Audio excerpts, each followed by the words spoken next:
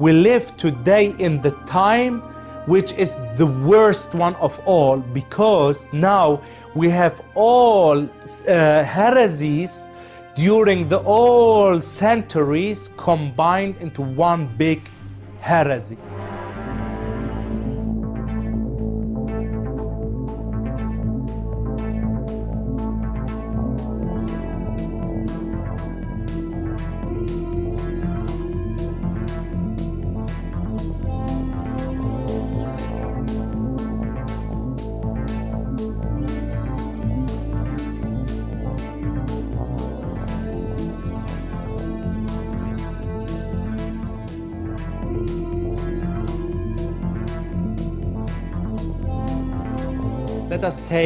The great Saint Maximus, the confessor, and Saint Marcus of Ephesus. They say, if your priest, your bishop, your patriarch is in a heresy, you have to cut yourself from him. Because if you don't cut yourself from him, you are united with him in the heresy. So he calls, with other words, our saints like thieves who are in the justice hand of Christ, while he is now bringing again peace by uniting all the heretics into a falsehood. Those who forced it or brought it into life, like Meletius Metaxakis, here again on the website, we see in the Grand Logia how Meletius was a member of them and they proclaim it until the day of today to be a Freemason, you see? And you know, if people say, Despota, Your Eminence, please, where are the miracles today in the church? One of the miracles was in 15 September 2016 that the saint kept quiet. Because if the saint would not keep quiet, believe me, the whole Vatican had be to be shaken. And he calls himself the defender of orthodoxy. И хранить чистоту православной веры, сопротивляясь всякой ереси и всякому соблазну.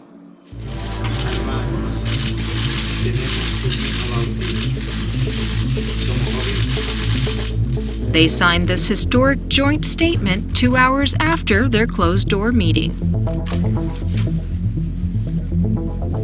As demonstrated with this embrace, both churches are much closer today than they were yesterday.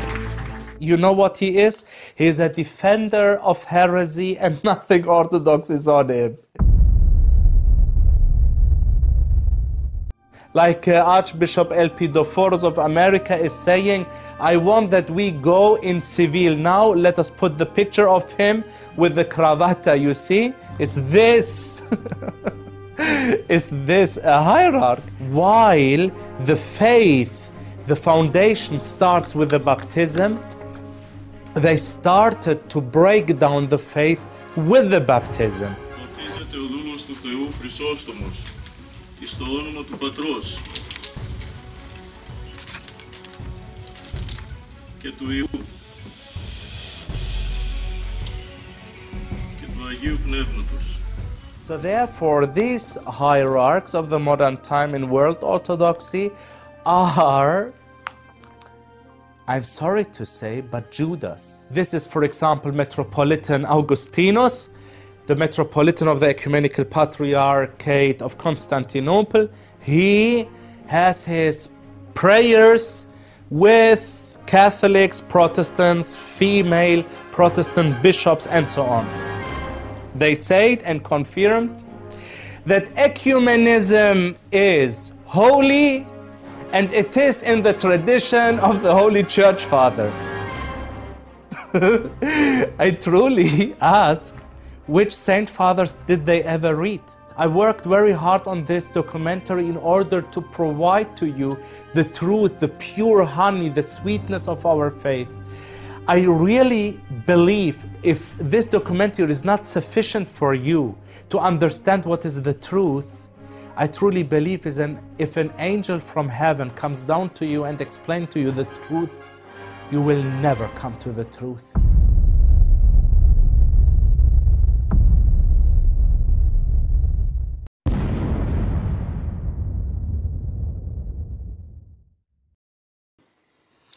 In the name of the Father, and the Son, and the Holy Spirit, Amen. Greetings, love, and blessings from Germany to every one of you. I am Metropolitan Moses of the Metropolitanate of Germany. Today we are going to accomplish together the third and with this the last part of our so important documentary of the history of the church. My beloved, before we start now, let us have again a short look about the first part and the second part. We, we have seen in the first part how our Lord Jesus Christ established the church, how he uh, have sent and empowered the holy 12 apostles and the 70 disciples with the um, Holy Spirit and they became high priests.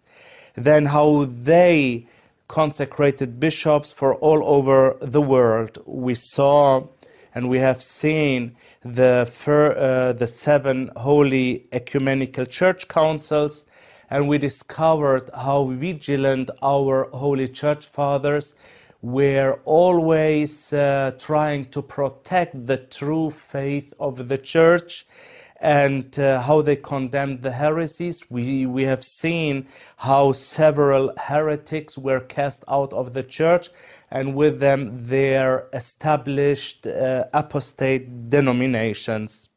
In the second part of our documentary, we have seen the um, falling apart from the true Orthodox Church, the West, how it uh, became apostate, and then we went through theological, dogmatical, and historical uh, points, and we discovered that they have changed the face, uh, the faith uh, so much that uh, they are not uh, to be addressed as a church at all anymore.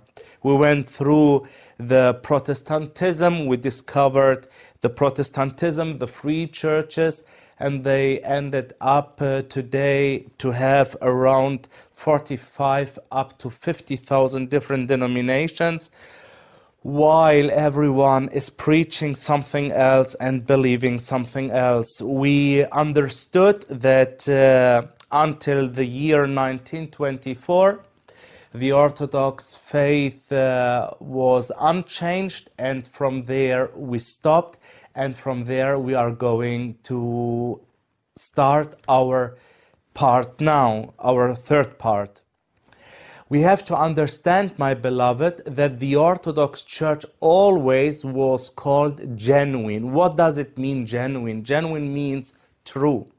The Orthodox faith is the right belief, the true uh, confession, the true worship uh, of God, of the one true God. The Orthodox Church never accepted any um, heretical movement or any dogmatical thing within her borders.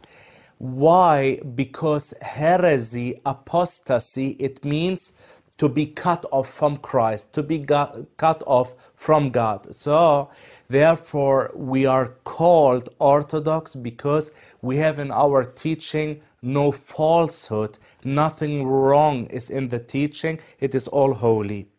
What happened in 1924? There, we, we must uh, understand that the Orthodox Church in general started to walk on a path to change the true Orthodox faith. Therefore, we say that from 1924 a huge part of the Orthodox Church became also heretic and it became schismatic. What happened in 1924? In order to understand what happened in 1924, we must go to the year 1920 in order to discover the preparement of that what took place in 1924. In 1920, we had a patriarch. His name was Germanos the fifth, uh, the fifth of Constantinople. He started to change the tradition of the Holy Church Fathers by an official letter he wrote as a patriarch uh, under the name of we are writing to all churches in the world which we know and we don't know. Why is this so dangerous? I tell you why. Because until that day, all our holy church fathers and all our saints, even until the day of today, never proclaim a heretical movement or a schismatical movement or any um, heresy as a church.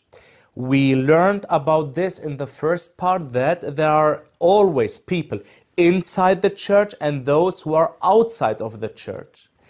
The church can never be divided as we understood because God is never divided.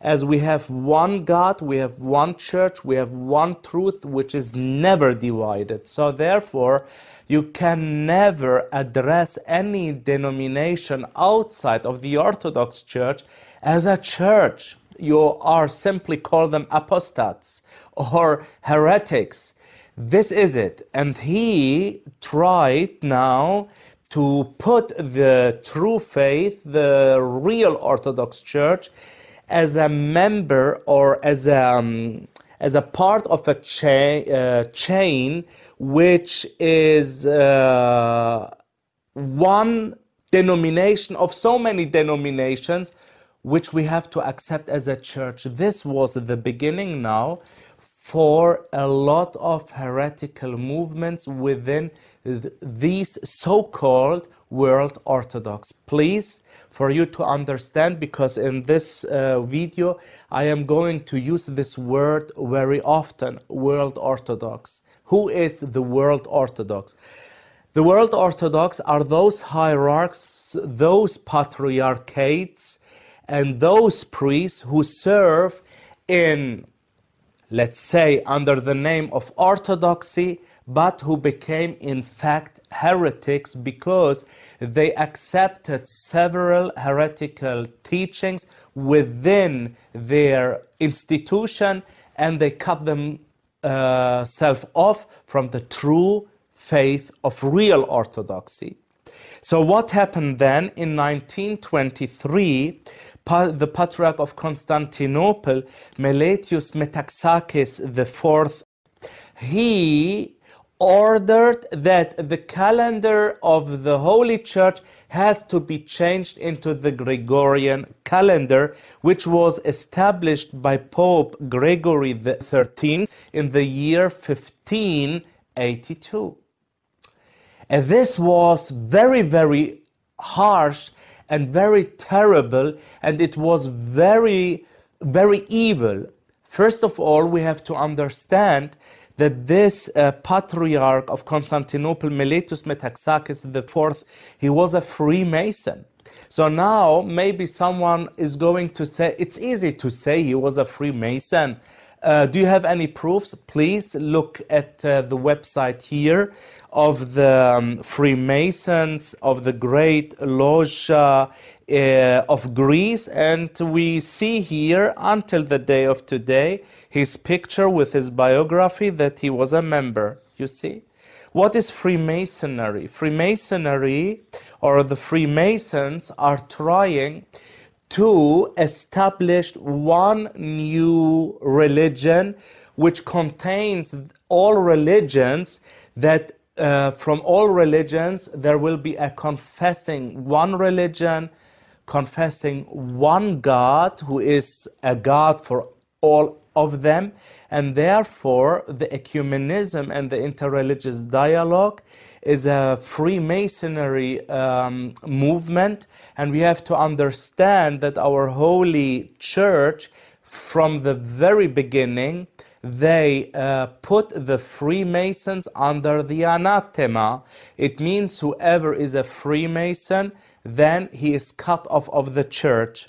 The Freemasons try to prepare the way, in fact, for the Antichrist, because the Antichrist, when he is coming, then he will have the power on earth, ruling everywhere under the aspect that he is now he is now the real savior and the messiah of the world. You see that this is a very evil and uh, devil uh, and devastating uh, approachment of destroying the uh, souls of the people. And unfortunately, this Meletius Metaxakis, he was a Freemason and he tried in the office of the Patriarch of Constantinople to destroy the Orthodox Church. So he in 1923 ordered the change of the calendar and what happened finally then in 1924 and this is now the very important date in 1924 the ecumenical patriarch of Constantinople Gregor VII he brought then this uh, new calendar into life. And what happened to them? I tell you right after uh, they passed away through a very, very tough heart attack. Not to speak even about the funeral of uh, Metaxakis, that the earth, they buried him uh, inside the earth, of course, and then three times it was uh, flooded with water, and um, he was uh, taken off by the water from the earth. Not even the earth wanted to carry him, to accept him. You see how God performed this divine sign that he did not bless the change of the calendar. The calendar change, in fact, brought a schism into the church in the beginning.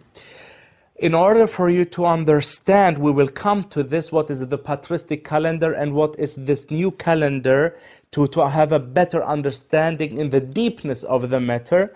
I want you to understand that the most of the Slavonic uh, ecumenical churches of today they have still the old calendar. So it means that according to the world calendar, we are celebrating or they are celebrating 7th of January Christmas. The same we, the genuine Orthodox Church, we celebrate 7th of January, the Christmas, the birth of our Lord Jesus Christ. Um, 7th of January, according to the patristic calendar, is still the 25th of December. Hopefully, we will come back to this in order for you to understand what is the difference and how is this uh, all uh, come together. After 1924, the ecumenical patriarch changed the calendar. What happened?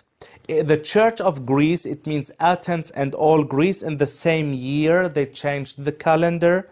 In Cyprus, also 1924, the Romanian Orthodox Church, also in 1924, the Patriarchate of Alexandria in 1928, the same with Antioch. And then the Bulgarian Orthodox Church changed the calendar in 1968. And then finally, now, this so-called Ukrainian autocephalous church under Constantinople. Now in this year, 2023, they changed the patristic calendar in this Western uh, apostate one. The thing is now that from that time of 1924, the mentality of these patriarchates towards those heretics changed they did not anymore call them apostates, they started to call them churches. And here you see the great difference between the teaching of the Holy Church Fathers, all the saints we venerate in the church, who never addressed these people and these denominations churches. They simply call them heretics or apostates. Now, these one call them they are churches. Very dangerous because of that, that the church is always one. It exists in the truth of Christ. You see? So if you try to address any heretical movement as a church, it means you are dividing Christ by putting false teaching into the true teaching. It is very, very deep, uh, um, um, a very harsh and deep beat against the truth.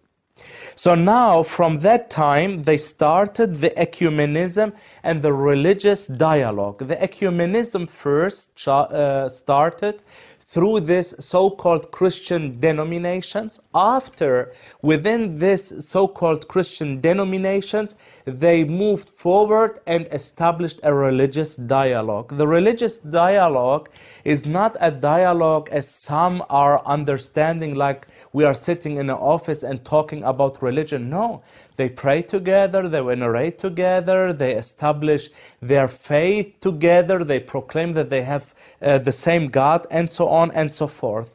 And this is something what our holy saints, our saints even over the modern time, such as Saint Nikolai Velimirovich or Saint Justin Popovich or our Saint Geronda Hieronymus of Egina, uh, called the heresy of heresy, the pan heresy. What is a pan heresy? Pan, it means all. It means it includes all heretical movements into one heretical movement. So instead of now saying this is wrong, that is wrong, this is wrong, and this is the truth, and we have to follow the truth in that way, they started to bring all these heretical teachings together and watch part two and part one, uh, in which I describe to you the main uh, false teachings. And now they say, ah, forget about what is wrong about this. The most important is we are together. This is very dangerous, my beloved. Why? Because falsehood is never leading anyone to eternal salvation. This is the problem, you see?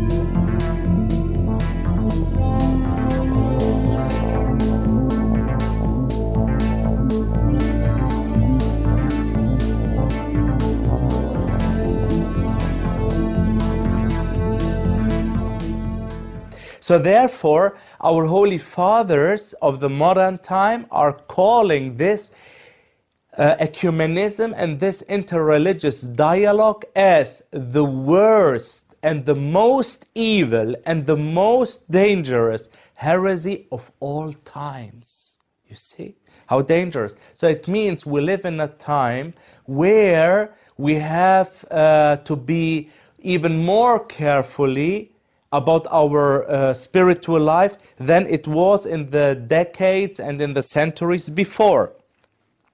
So you see, this ecumenism, this falsehood of teaching, which entered now the true faith of orthodoxy, poisoned many, many faithful. If you today look at many um, Orthodox uh, faithful, then you see that they call themselves Orthodox, but in fact, their behavior and the way how they believe is either Protestant or Catholic or it is something else. It is very, very dangerous. Concerning these uh, false teachings, there is a very good uh, book. For example, here we have it in German, and I know it is available also in English and, of course, in Greek and in the Slavonic um, languages a very good uh, book concerning the seven holy ecumenical church councils, how the teaching of the church was always confirmed. These hierarchs of today of the world orthodoxy, they put the teaching of the holy church fathers on side and they say, Let us now, we are living now, let us see how we can uh, go and work together and combine whatever we have together. So, therefore, these hierarchs of the modern time in world orthodoxy are, I'm sorry to say, but Judas. Why? Because they look like us, like us, the genuine Orthodox. They celebrate in the Orthodox way. They, they west like the Orthodox, but in fact, inside of them, either they are Freemasons or they are Protestants or Roman Catholics or Anglicans or whatever. You see, this makes it more dangerous. As you know, I am a friend of clear words and straight words. So, therefore, I give my speech to you uh, very, very clear so that you don't have any misunderstanding. Now, my beloved, we come step by step. Let us start, as I said, with the calendar why we, the genuine Orthodox, or those who are really Orthodox, can never accept the Gregorian calendar. Why we simply cannot. The first reason is because the First Holy Ecumenical Church Council, this please watch part one, the Holy Church Fathers, among them it was Saint Spiridon of Cyprus, uh, one of them was Saint Nicolaus of Myra, the other was Saint Firmilianos of Caesarea. All these saints who came together, they said, from now on, the Julian calendar is the calendar of the church, and whoever wants to change it shall be under the anathema. It means shall be cast out, cut off from the church. So now, how can you change it? You see, from one side, we have to understand that our Holy Church Fathers established this calendar, so you are not going to change it. And the same time, they um, confirm to us the Paschalion. The Paschalion, it means when it has Pascha to be celebrated. So therefore, they gave us the dates Pascha, the resurrection of Christ, has to be always something between uh, the Sunday between 22nd of March and 25th of April. So now, if if the uh, Gregorian calendar is adapted, what wants uh, Bartholomew, the patriarch, the so called patriarch of Constantinople, to do from the uh, coming year or from 2025, then it means even this, all they are not going to keep anymore. You see? So they are, they, they are careless about the Holy Church Fathers. I want to give you one of the speeches of Bartholomew who says, the um, the saints we venerate you know when you go to the church our churches are filled with the holy icons of the saints. And what did he say? He said all these saints are in the justice hand of god because of their mistakes because their fanatism. And we are going to correct to, to, to bring peace, to bring mercy uh, again to the church. So he calls, with other words, our saints like thieves who are in the justice hand of Christ, while he is now bringing again peace by uniting all the heretics into a falsehood. You see? So now, if you are a Greek Orthodox under the Patriarchate of Constantinople, do you accept this your patriarch? How? Then, if you accept him as a patriarch and you follow his sayings and his teachings, then I rather would uh, suggest to you do not kiss anymore the holy icons of our saints. You know why? Because this would be then a kiss of Judas.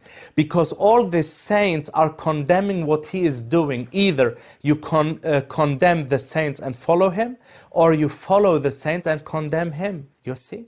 So, therefore, it's not easy to switch from one thing to the other and uh, try to think whatever you do, at least you are Orthodox. No, to be Orthodox, you have always to be careful and vigilant about the faith and follow a true hierarchy. So, to be genuine, true Orthodox. Then we must understand when Pope Gregor uh, the 13th brought this calendar in the West into life right after, in the year 1583 and then 1587 and then in 1589, we had three pan Orthodox councils under the Patriarch Jeremias Tranos, who condemned this calendar. Again, they excommunicated it, put it under anathema.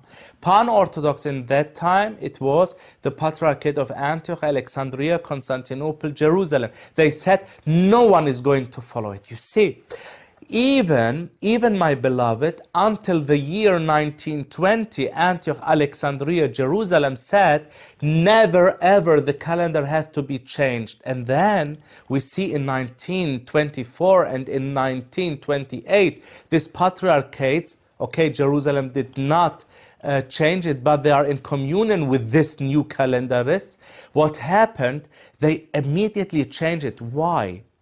Because of money, because in that time and even later, some of their patriarchs are Freemasons and were Freemasons. So it means for prestige, for money, for power, they changed the, the, the tradition of the church. Now the question comes up, my beloved is the calendar a dogmatical thing? No, it's not. But it has a reverence like a dogmatical thing. I want to explain to you. What is a dogma? Again, watch please part one, part two. There you're going to understand it better, but in a short way. A dogma is a, um, is, is a teaching of the faith. For example, we truly believe that Christ is uh, truly divine and we confess that he is truly human. So this is a dogma, you never can change it. If you change this, that it, then it means you are not a Christian anymore, you see? But the calendar, my beloved, was sanctified over the centuries, the decades, and so on and so forth. And we, it was sanctified by the saints, by the feasts of the saints. So therefore, it is something a strong foundation which united the whole Orthodox world always together, that we celebrate always together the feast. This was and is still the foundation that we are known by celebrating everything together. You see, so therefore, my beloved, these patriarchs who changed the calendar, they said, We are changing the calendar in order to be able with the Catholics, Anglicans, Protestants, Monophysites, and so on to celebrate together uh, the feast of the church. Now the question comes up why you? Why? You who have, who have the real and the true calendar, the true tradition, why you change it? If the unity is so important for them, let them change it. You know, I, I give you an example. I had a conversation with a Catholic couple before a couple weeks. They said to me, Your Eminence, please, please, when is the genuine Orthodox Church changing the calendar so we Catholics and you, the genuine Orthodox Church, can celebrate together Easter, Christmas, and so on? You know what I answered them? I told them, All the time you are changing everything. Nothing is as it was in the beginning of the church. Every year you change almost everything. We are never going to change anything.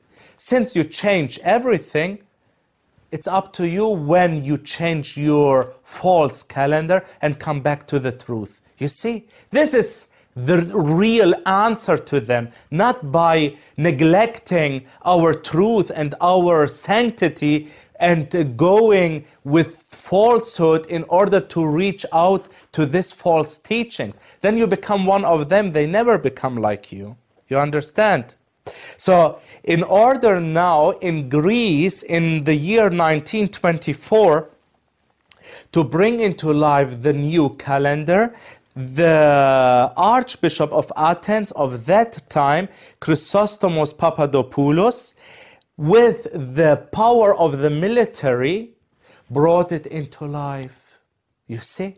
They used earthly power, worldly power, in order to bring to change the calendar. And then in that time in 1924 around 15 up to 20 percent of the orthodox faithful in greece they said no no no no no. Never ever we are never ever going to change the calendar of our holy church. We stay with the old calendar. This was the birthday of the name old calendar or old calendarists. So therefore, if this ecumenists, apostates, call us the genuine Orthodox Church, oh, they are old calendarists, then you understand, yeah, we are old calendarists because we keep the calendar of the Holy Church Fathers. But it does not mean that we put the calendar like a engolpio around our neck no, but we keep the tradition of our holy church fathers. And with this, our old calendar faithful said, we keep the old calendar, we keep the genuine faith, the genuine Orthodox faith. So therefore, if they simply say, oh, the genuine Orthodox Church is, is a church which is established before 100 years, no, my beloved, is wrong. The genuine Orthodox Church is the continuation from Christ until the day of today. Because we keep the genuinity, the genuine faith of Orthodoxy, and we keep the calendar of the church, you see? So, therefore, we don't care about what they uh, say. And with this in order, uh, to, to have a look again. Those who forced it or brought it into life, like Meletios Metaxakis, here again on the website, we see in the Grand Loja how Meletios was a member of them and they proclaim it until the day of today to be a Freemason. You see, it's not only a saying like we say something about someone. Everything I tell you now, it is founded with proofs. Okay? Good. Now, we have to understand from 1924, after the calendar was changed, this ecumenist Orthodox, so called Orthodox priests, bishops, archbishops, patriarchs started to persecute the real Orthodox one. With this, my beloved, I must come to especially make you understand the history in Greece since I belong to the genuine Orthodox Church of Greece. Of course, the genuine Orthodox Church in Russia, with the start of the communism, has a different uh, history. They have their uh, history through the catacomb churches when the communists started to persecute the church and to, to and uh, most of the so-called uh, Moscow patriarch started to um, have a relation with the communists and they cooperated with them, such as Patriarch Sergius. From him, we have this uh, heresy of Sergianism, the cooperation uh, between church and uh, state, and through that, many of the hierarchs of this uh, Moscow patriarch there is blood on their hands. You see? So it means the Russian Orthodox Church, the genuine one, has a, a bit other uh, history in Bulgaria, a other history in Romania, other history in all these countries. But what brings us together is that we didn't change the faith, faith, we don't change it, we keep the tradition of the Holy Church Fathers and we follow the traditional calendar of our Holy Church Fathers. They started to beat our priests, to put them in prisons. They even killed some of them. It was horrible. So, what happened to us? It happened in that time, like through the Crusades or through uh, the uh, Ottoman Empire, what happened to us, all this persecution. This time, I call it the worst persecution. Why? Because our own brothers killed us, our own brothers persecuted us. So then, the, in the encyclica of the Patriarch in 1920 and later then in 1924, the Patriarch of that time said, if we change the calendar, as I explained to you, then we are going to bring all these denominations into one body. And this was the birthday of the ecumenism. Now let us understand what is the ecumenism.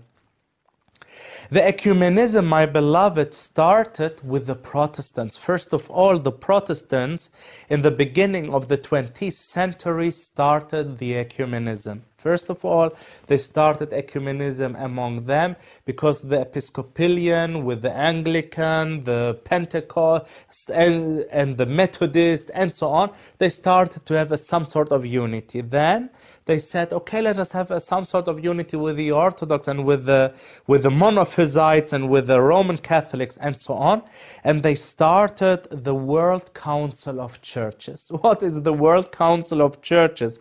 The World Council of Churches was established, as I said, in the 20th century. And with this, they tried to give a center to all Christian denominations in order to bring them together, in order to proclaim there are no different Christian denominations anymore, but we all together, while we are functioning together and that what we believe, only if we are together, then we become the real church of Christ. And this is the very, very dangerous teaching against that, what our Holy Church Fathers from the beginning taught us. Because the church never stopped to exist. The church always existed and exists in the true confession of faith. Now, these all together say the church will just then exist totally if we all become again one by proclaiming everyone his own confession of faith. Can you imagine? we, will, we will come to this uh, later more how they tried to bring all this together. Now, the genuine Orthodox Church or we, the hierarchs, many times people say to us, Aren't you a little bit too harsh? no, we are not. We simply follow what our Holy Father Benedict of Nursia, in, uh, who gave his precious soul back to the Lord in the year 547, said. He said, we shall hate the sin, but love the sinner. You see? We love the people who live in heresy because they are people, they are in the image of God. We love them, we want them to come back to the truth, but of course we hate their heresy. We fight this heresy. If we would accept their heresy, then we would not truly love them. Because if you let someone in falsehood, then it means you don't really love this person, you see. So you have to understand what is true love and what is fake love. Anyway, now they say in this ecumenical movement that when we are together, as I said, we become the real body of Christ. Meanwhile, they celebrate, for example, this World Orthodox, they celebrate the feast of those martyrs who shed their blood while or because they never accepted a heresy. you see how paradox it is. Okay. Patriarch Athenagoras, the patriarch of Constantinople, in the year 1965 met with Pope Paul VI And what did they do? They lift the anathema between the West and the East. Now, can you imagine? After the West fall apart as a heretical group from the Orthodox, our uh, Orthodox Church put them under anathema, of course, because they changed the faith. Now they became heretics. what did these heretics do? These heretics, then excommunicated, have put our true Orthodox Church in, uh, in the year 1054 under the anathema. Now I ask you something. What power has a heretical group to anathemize someone who is in the true faith? Is it possible? It's not, my beloved. So now in 1965, Patriarch Athenagoras, who was also a Freemason, and Pope Paul VI lifted the anathema. They said from now on, each one of us is no more excommunicated. And then they said, from now on, we accept the mysteries of each other. And this damaged and destroyed and gave like a guillotine, they cut off their own head, this ecumenical Orthodox, by proclaiming the Roman Catholics have true and valid mysteries. Everyone who can think only one millimeter, not even a centimeter, just a millimeter, to think about it. If their mysteries are valid, why then we have the right to exist if what they do in their falsehood, in their easy going, easy life, everything is valid, why then we keep fasting? Why then we keep this long uh, liturgies? Why then we keep all these rules while they have legitimate and valid mysteries? You see? So therefore, Constantinople today, they proclaim very, very official the Pope of Rome as the Archbishop of Rome, like the Patriarch of Rome, and nothing is dividing us anymore. Can you accept this? After you watched part two of our documentary, do you allow yourself to say there is nothing different between us and them? How can you? Not to, to speak even about what Bartholomew said he said, the church equal to the Orthodox faith or equal to the Orthodox Church, there exist more than 360 different Christian denominations equal to Orthodoxy. So it means Methodist, Anglicans who have the women ordination, the same sex marriages, and so on. All these things, he called them equal to Orthodoxy. You accept him an Orthodox. How come? How come? So now then, my beloved, they, they moved even uh, further. And then in the monastery of Balamand in, in Lebanon in 1993, they started, the Catholics and the Orthodox, to say to each other, from now on, we are sister churches. like like the genuine Orthodox Church in Greece and the, let's say, the genuine Orthodox Church in Russia, we are sister churches. Let's put this example. Now they say with the Catholics, with the Anglicans, with all these, we are sister churches. How come? And then what did they do? They started in 2006 in uh, Brasilia in February and in 2007 in Ravenna in Italia, they said that the Orthodox Church and the Monophysites and the Catholics, all of us, from now on, zero. Nothing is anymore separating and dividing us. Watch part one concerning the Monophysites. Remember the great miracle of uh, the Saint uh, Euphemia, how she put the confession of faith of the Monophysites under her feet and the Orthodox confession on her chest. And these heretical bishops and patriarchs say everything is fine, nothing, but nothing is dividing us. So now the thing is, how do they communicate with each other? I want to give you this example. When our holy church fathers, uh, in the time of the ecumenical church councils, please don't confuse, again, watch part one, don't conf- confuse ecumenical church council with ecumenism. Huh? I explained it to you.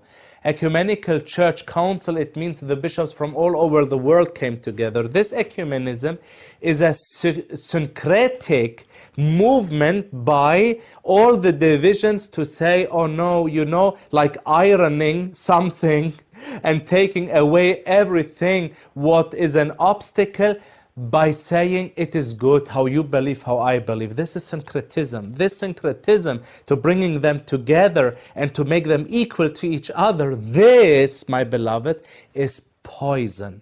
Therefore those who follow these people they cannot be sure anymore about their eternal salvation. You see?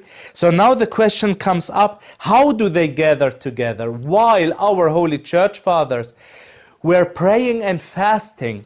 They were sometimes not eating, not drinking three days, day and night, until they approached the ecumenical council in order through prayer, divine liturgy, holy communion, and fasting to take right decisions in the power of the Holy Spirit. These it's not a joke. It's true. You can uh, make a research.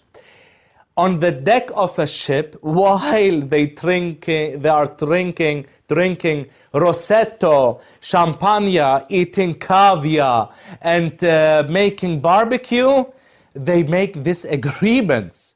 Look, look at the confession and the behavior of our holy church fathers, and look at these people, huh, who sold the faith for drinking and eating. So now, what did they do with this ecumenism by declaring all these churches are true churches?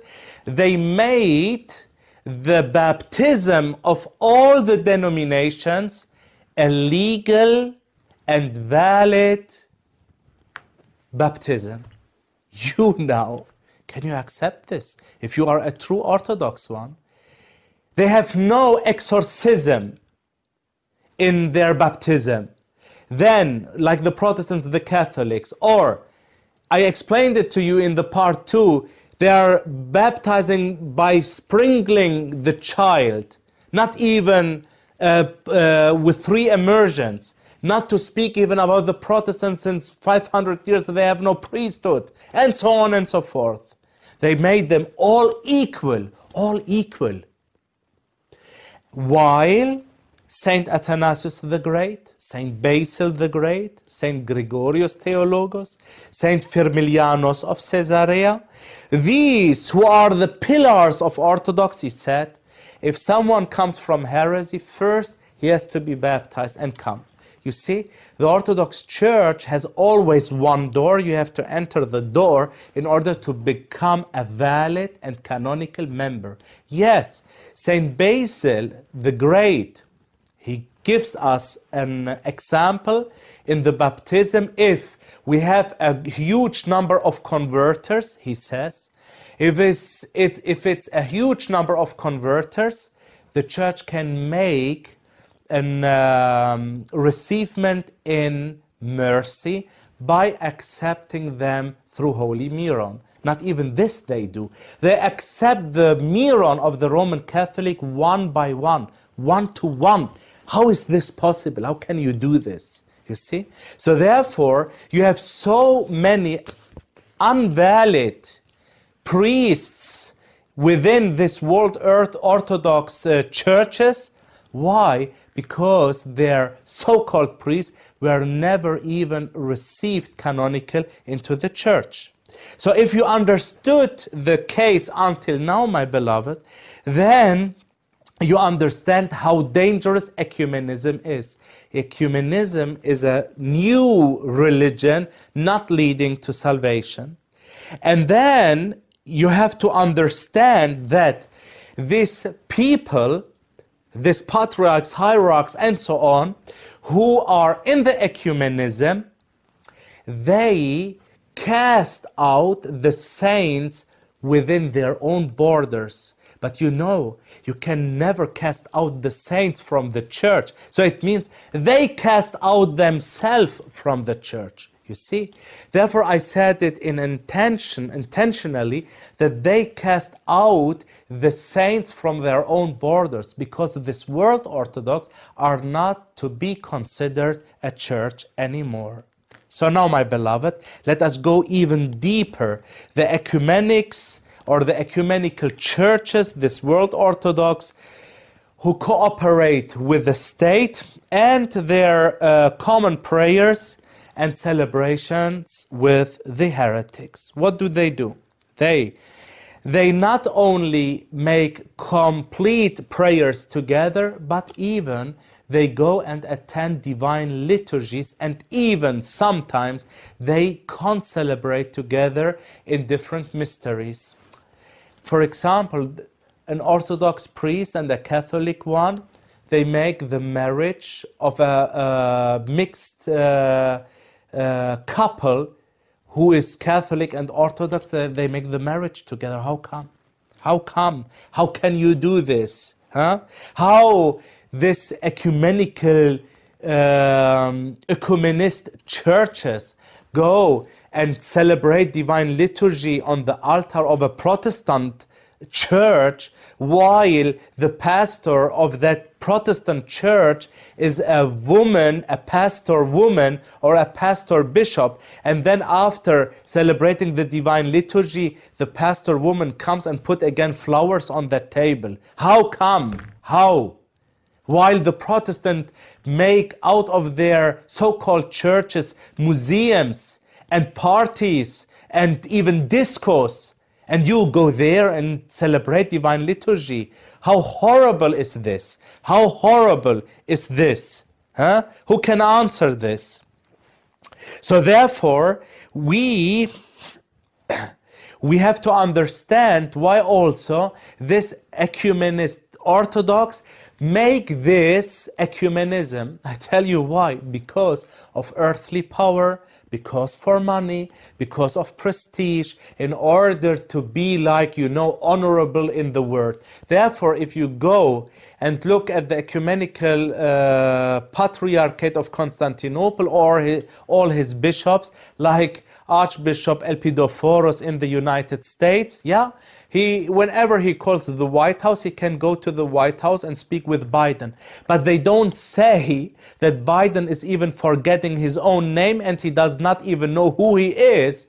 They are very proud that they have a, a direct connection to the White House, yeah? Shame on him. And shame on those who say this is orthodoxy. Shame on them. You see? And they call themselves canonical. What canonical is with them? Didn't the church from the beginning was always eager or, or vigilant in order to be dependent on Christ? Of course.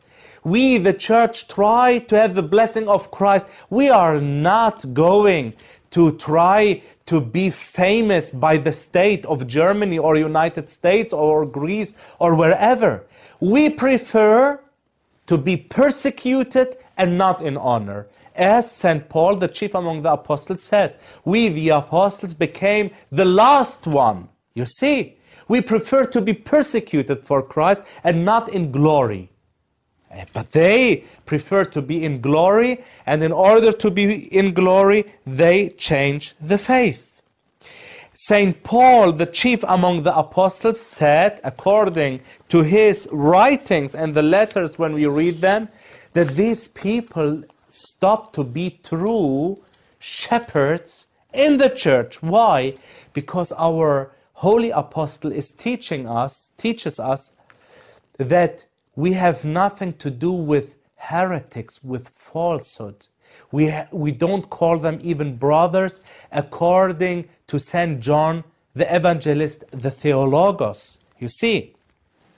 Therefore, we have also to understand, my beloved, what heresy in fact is, as I previously explained to you.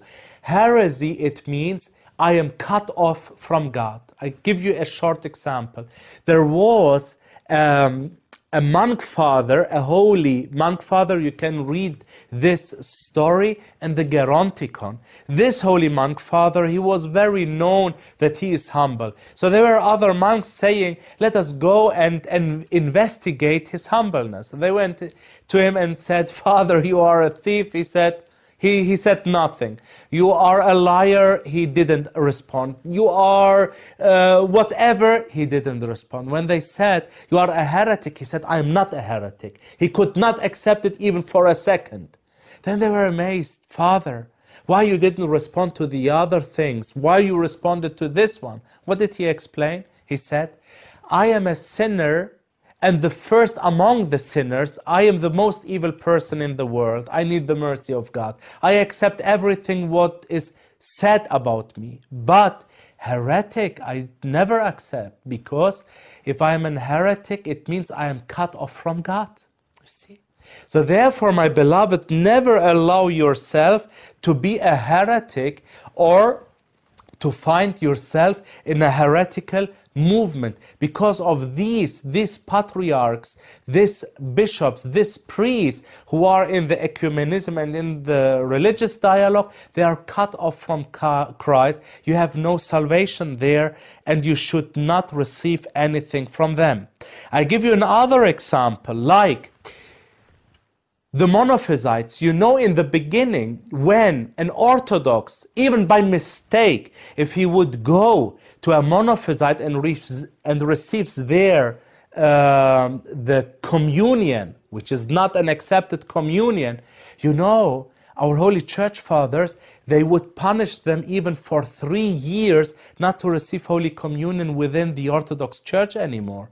If it was by mistake, they made a confession and uh, they gave him absolution and they gave them again communion. But if they went there intentionally, they cut them off even for three years and even longer because it is like considered like adultery against the bride of Christ. So therefore, in this ecumenism, many of the so-called uh, Orthodox churches, they sent even people to the Catholics to receive communion there. They say, if you don't have an Orthodox priest, go to the Catholic, is the same. So you see, these are not shepherds. These are thieves because their teaching is not the teaching of our holy church fathers. So now, we see that in this so-called ecumenical movements, this uh, all denominations say it is good. We we negotiate the faith. Uh, but you know we never saw that our holy church fathers for for 1900 years negotiated the faith.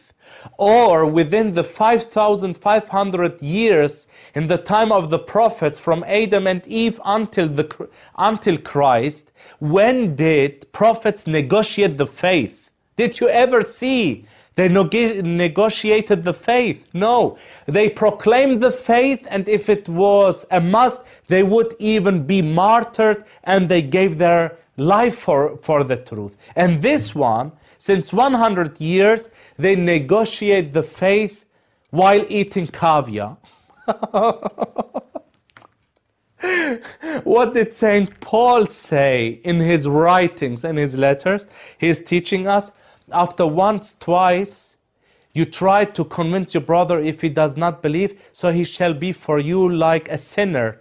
Don't even call him a brother anymore. And you know, so they negotiate the faith and they are very proud by proclaiming nothing anymore is uh, dividing us. Now we come to the problem that I want to explain it to you by this example. I, I know a Catholic pastor, a Roman Catholic one, he said to me, he said, Your Eminence, you know the ecumenical dialogue is so beautiful because since the ecumenical dialogue, there is no or nothing really anymore dividing the Protestants from us, the Roman Catholics. We became almost uh, the same and we acknowledge each other totally. Isn't it beautiful? and then I said to him, I said to him, I want to ask you something.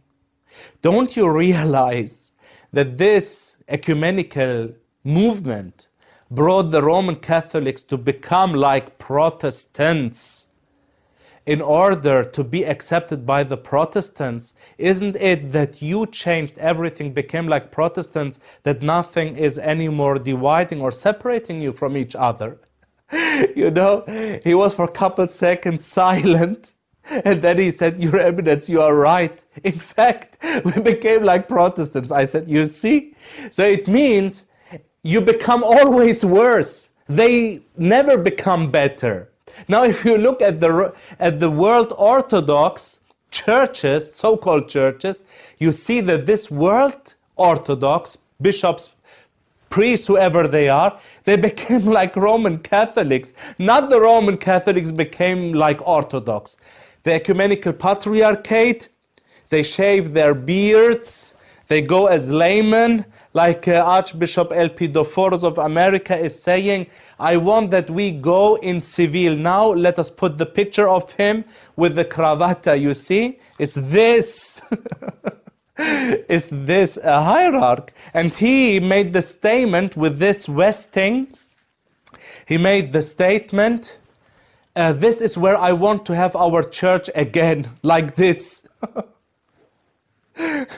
While the police or the judge in the court have his vestments in order to be a respectable person, he wants that the priest take off uh, their uh, clothing, their priestly vestments. Now, I want to give you another uh, example. It was around in the year 1900, uh, so 20 years something before all this uh, started there was a patriarch uh, and went to the United States, and there people said, Your Holiness, is it possible that our priests become like the Catholic, also in civil, shave their beards, and become modern? You know what he responded to them? He responded and said, When the priests become like laymen, then the laymen become like devil. you see? And because of this, since the priests don't respect their own office, therefore the people lost the respect to them and to the church. And what happened? Now look what happened. Here, for example, you see Patriarch Kirill of the Moscow Patriarchate, how he is baptizing baptizing a child, you see? And he calls himself the defender of orthodoxy. И хранить чистоту православной веры, сопротивляясь всякой ереси и всякому соблазну.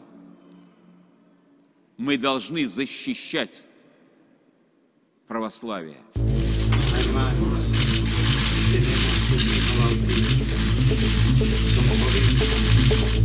They signed this historic joint statement two hours after their closed door meeting.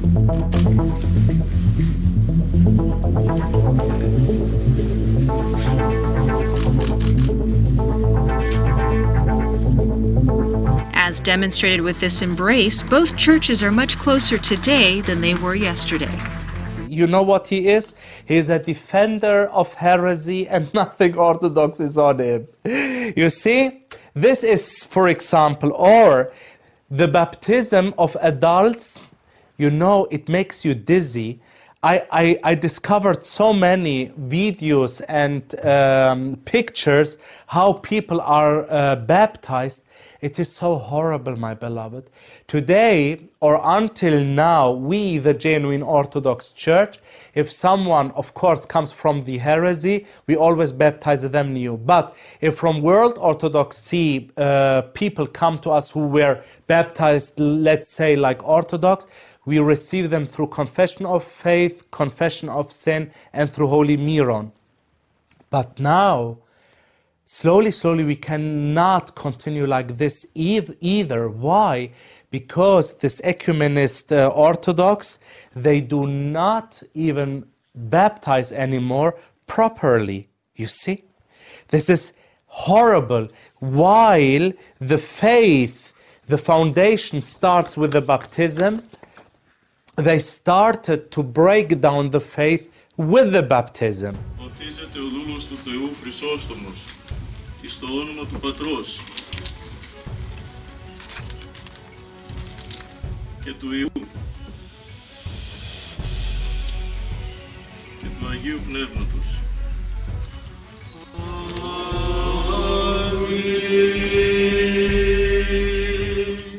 So now, if you think about it, that a bishop, a hierarch, is, for example, the protector of faith, these hierarchs are going to lead the people into falsehood and heresy to be cut off from Christ. This ecumenical, this ecumenical so-called prayers, now we can uh, have a look here. This is, for example, Metropolitan Augustinus, the Metropolitan of the Ecumenical Patriarchate of Constantinople. He has his prayers with Catholics, Protestants, female Protestant bishops, and so on. So now, in the end, he gives the bless- blessing to the people one by one with the Catholic and with the Protestant, while all together make in the same second the cross over the people. now, my beloved, if you are an Orthodox woman, please, please ask yourself, for us, the Orthodox, okay? And go with this question to your ecumenist priest or bishop. Ask him, me as a woman, I am allowed, am I allowed to enter the space of the holy altar? They will tell you no. I am allowed to serve the holy altar? No, they tell you no. Then ask them, how is it then possible that our bishop or our priest, one by one on the holy altar, or from the holy table, they give the blessing one by one with the female bishop, which is totally in heresy, not accepted even baptized, and not even accepted to be a priest or something. How is this possible? You see how paradox everything is what they do. Do you see it? So now, not only this, even they push the people to have interreligious marriages or interreligious, interconfessional marriages. So here we have different so called priests who proclaim that it is a wonderful thing to, to be to have marriages between Catholic and Orthodox or Orthodox and Protestant. I, I, I had here a couple times people from Russia, they said, Oh, I am Russian, but my husband is atheist. He's even not baptized, but we were married. In the Russian church, the priest made the marriage. Now, how can you put the crown of the marriage on a head which is not baptized? How? I want to give you an example. What is the baptism, my beloved? The baptism is the foundation of everything. Look at the baptism like the baptism is the table, okay? So now, if you are properly baptized, now you can put everything on the table, like the marriage, the priesthood, uh, the confession of sin, the, um, uh, the oil for the sick, and so on and so forth. But if you don't have the table, how can you put the other things on it? You see? So now I give you another example. You know how many people I take care of them spiritually because they discovered the genuine Orthodox Church just later and came to me and said, Despota, Your Eminence, please. We have a lot of problems within our marriage.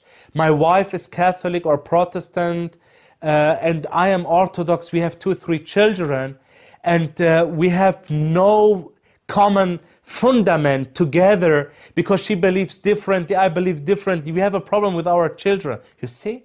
This is a genos- genocide, my beloved.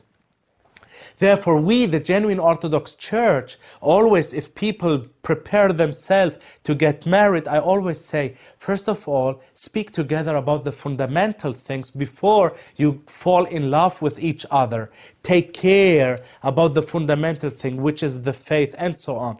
Why? Because we in the genuine Orthodox Church, we never make the marriage uh, an Orthodox with a non Orthodox. Never.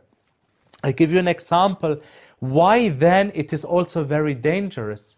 Because this ecumenist priests, they say, there is no problem since they believe in Christ, or even if he's an atheist, but if he signs a document that he allows that your uh, common children uh, will be uh, grown up in the Orthodox faith, so, so, let him stay an atheist. I tell you why it is dangerous, my beloved. First of all, I explained to you that you cannot make a marriage with a non baptized one, right? The second thing is look at the children. If, for example, the father is a Protestant, the mother is an Orthodox. The Orthodox mother is fasting, preparing herself for Holy Communion, attending long services, all the prayers, and so on and so forth. The Protestant, he takes the guitar, he does not even need to go to the church, stay in the living room and make a hill song five minutes and say, Praise the Lord, and that's it no fasting, no communion, no confession of sin. Because in the living room or in the bedroom, he says, Oh Lord, forgive me, and he's forgiven. So then, when your children or when the children grow up, they say, Mom, how come you are fasting almost 200 days per year? You prepare yourself for communion, you commit sin, you go to confession of sin, you have a spiritual father, you have to be obedient. With my father, he just take the guitar. and then your child is saying, Mom, I don't want to stay and become an Orthodox. I want to be like my dad because I had a feeling. I have now the feeling I become like my dad. How is it for you?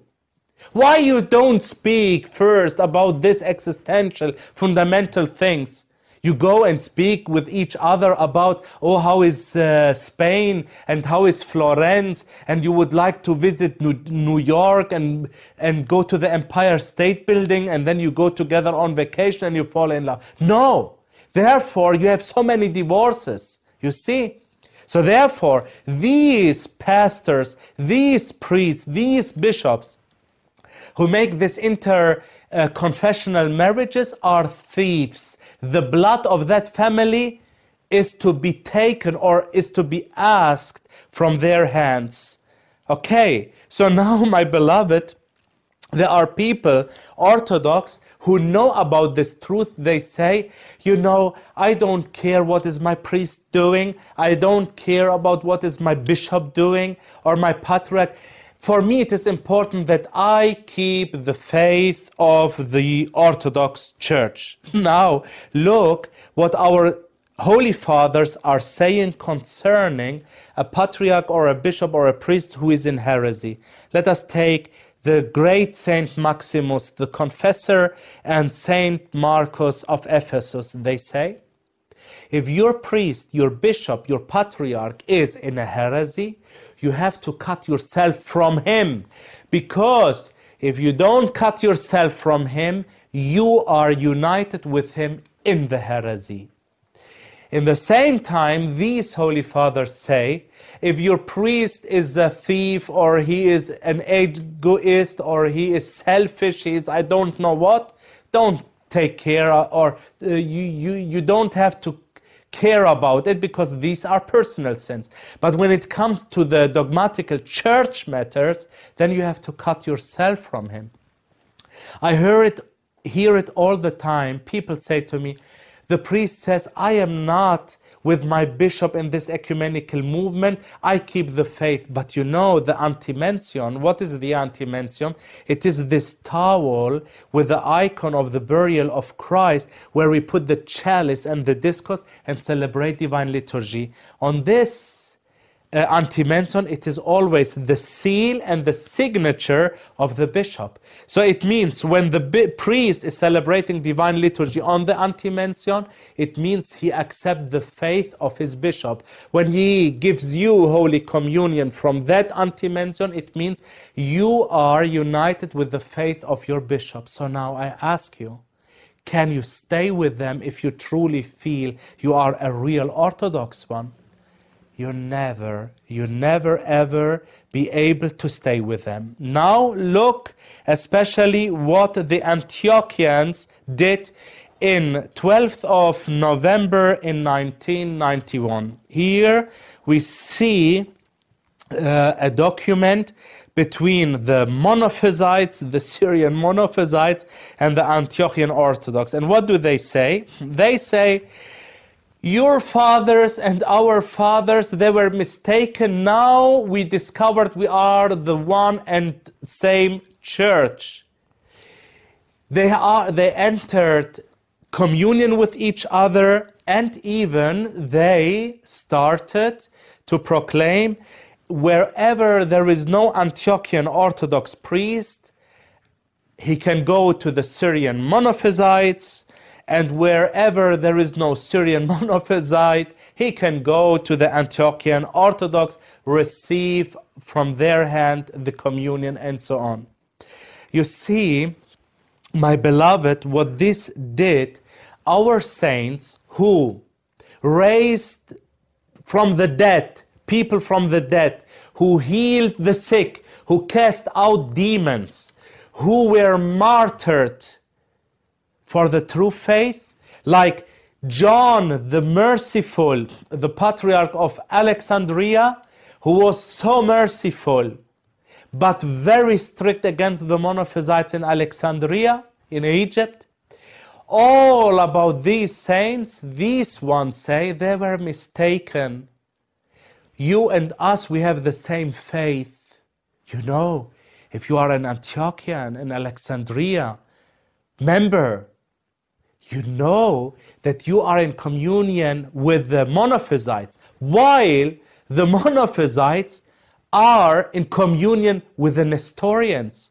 Until now, the Nestorians don't say about uh, Mary, the all praised, all hymned, all holy one. They don't say about her she's the mother of God. They say she's the mother of Jesus. Look at the part one. And they refuse to say that our Lord is truly divine and truly human. And they call themselves Orthodox. They call themselves protector of the faith. These are thieves. What did, did then Alexandria, the Patriarchate of Alexandria, do? Look here at the document. They followed the Antiochians in the same way by saying the Copt monophysites and us, we are one church. There is nothing dividing us. And they entered into communion uh, with each other. And through this, the Patriarchate of Alexandria, they just cast themselves out from the church by not being obedient to Saint John the Merciful, who gave his precious soul back in the year 619. And you see, if you understood now, my beloved, in the whole Middle East, how the Antiochians fall in heresy, how the Alexandrians fall in heresy, Lebanon, Syria, Iraq, Egypt, and so on, now you understand why the whole Middle East, in the spiritual aspect, became destroyed totally. Because the question comes up which Christianity shall God protect there? A heretical one. Non Christian non Christianity is better than a heretical Christianity. Because if someone is not a Christian, you know how to deal with him. Because the one who proclaims he is a real Christian, but he is totally in, in falsehood Christian, that makes it even worse. Therefore, my beloved, those who fight the church from inside the church are more evil and enemies than those who from outside try to destroy the church. Thank God the church can never be destroyed. But you understand what I'm trying to tell you. The problem is that we have so many from inside who try to destroy the true orthodoxy. So now, these were the Antiochians and the Alexandrians. But we will come right back to them when we speak deep, more deeper uh, about the interreligious dialogue. So now there are some, they say, oh, we are Russians, we are not like the Antiochians and the Alexandrians. Let us come to the Russians. let, let us come to the Moscow Patriarchate. What did Patriarch Kirill say? Who proclaimed that he's a defender and a protector of orthodoxy. Remember the picture how he, he baptizes people, not to speak about his cooperation with the state, and not to speak about his more than 4 billion private money. Uh, more than four billion dollar he has in his pocket. I don't know um, for what a normal person needs 4 billion but of course this is his own dilemma we don't care about it. What did he say? He said, World Council of Churches, this is our common future of the church in the future. Honestly, I don't know what this man wants. I don't know what he pretend to do and to lead his people to. For sure, he does not want to lead anyone to eternal salvation. Now let us see what is World Council of Churches exactly, because we started to speak about, uh, about them. In 1937, 1938, more than or around 100 different denominations, Protestant denominations in Oxford, they started to have a common relation together and established World Council of Churches. World Council of Churches today confesses that the same-sex marriages are legal and in the will of God it has to be tolerated. They proclaim that salvation in all religions exists so you can be a buddhist hindu whatever you want. They uh, are standing for the ordination of women to priesthood and so on. And this kirill who call himself a defender of orthodoxy says this is our common place this is our common future. How can you follow such a man? How can you say, I am proud, I belong to the Moscow Patriarchate? How?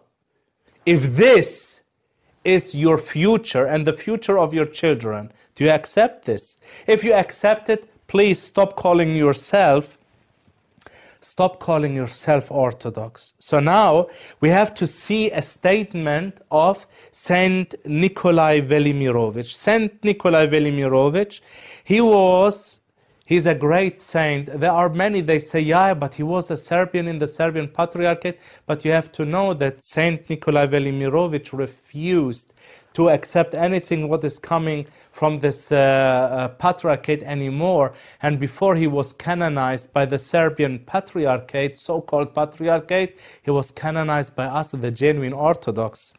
Interesting to see. He, in the beginning, was also involved in the movement of ecumenism. Then he saw what ecumenism truly is.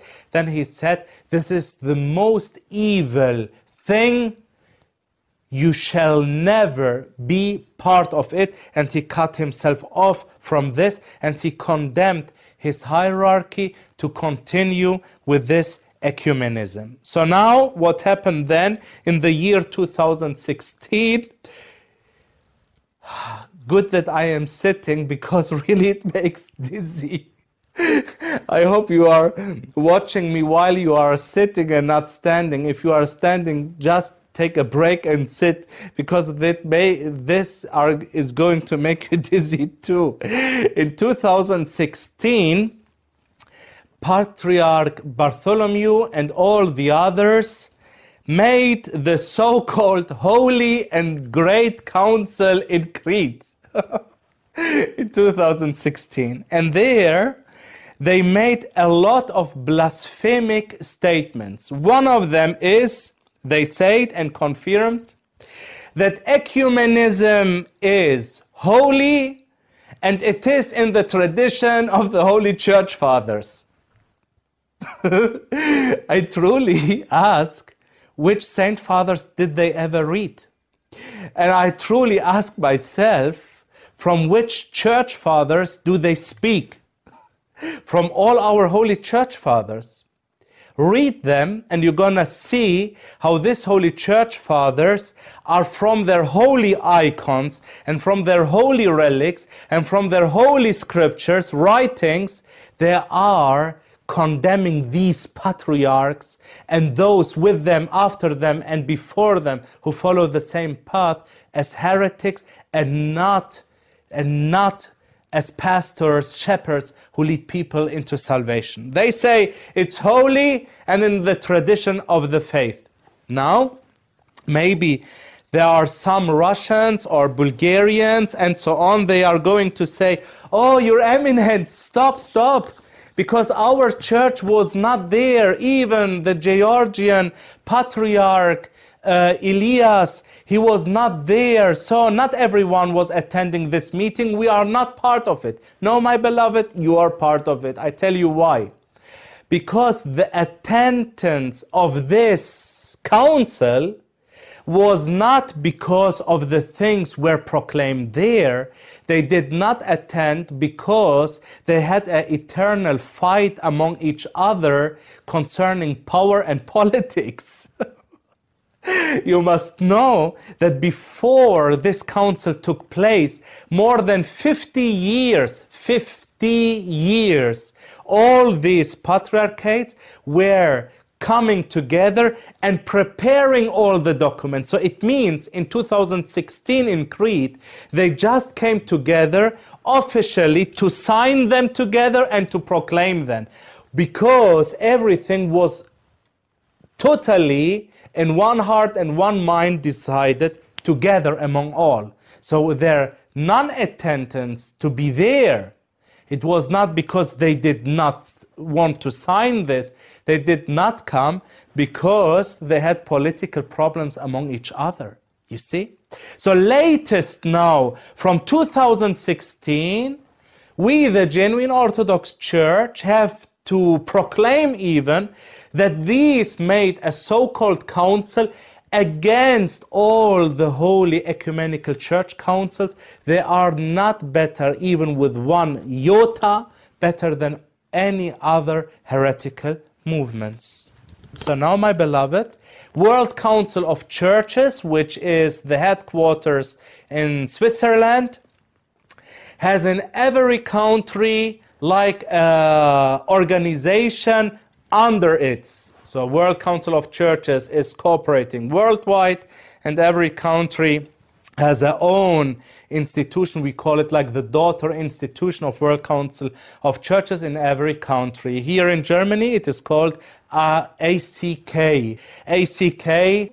If we look here, uh, for example, at their uh, web page, which they have there, you see that all the uh, uh, different Protestants, the sects, the Roman Catholics, and even the Orthodox are members of World Council of Churches and ACK. And here they have the uh, statement that they accept the baptism of each and every one of them.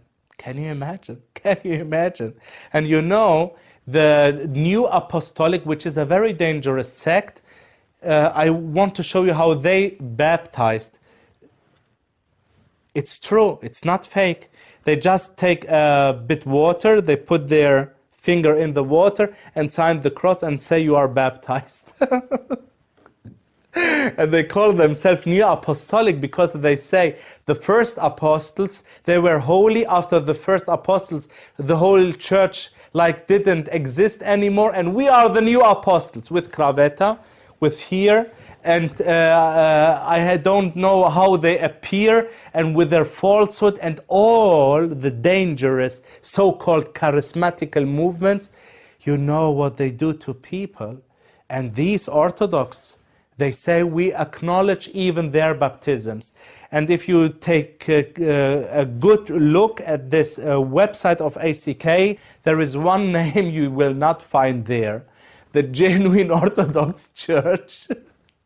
because we are never going to be part of such a heretical movement. So now, since we are still with the Russians, let us continue with the um, uh, Russians by a with a statement of Metropolitan Ilarion Alfeyev. Metropolitan Hilarion Alfeyev, who is now the Archbishop of Ungaria, because he was uh, deposed from the Patriarch of the uh, second mighty office of the Moscow Patriarchate because of the Ukraine crisis. But for many years, he was like the second man of the Patriarchate of Moscow. He said in the official statement of the Russian Orthodox Church, he said, we totally accept the sacrament, it means the mysteries of the Roman Catholic Church, and in fact, there is no real difference between them and us. I truly ask myself why he does not go to Pope Francis and tell him just simply make me a bishop of yours and shave even his beard and appear like a Roman Catholic. Why? Why not? then maybe he, he gets even a better salary from the church. If nothing is changed, there is no difference between them. And what did he do as a sign of real brotherhood? In, on 15 September 2016, he went to Pope Francis, as you can see here. It was in the official website of the Moscow Patriarchate. And as an honoring and touching symbol, as a symbol of unity, that nothing is dividing them, he gave him a precious relic of Saint Seraphim of Sarov in a precious reliquary. Can you imagine?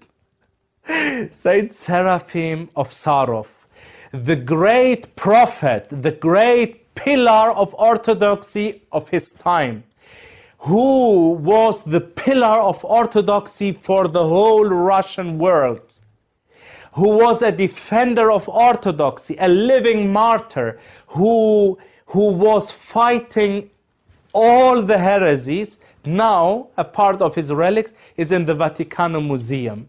Can you imagine?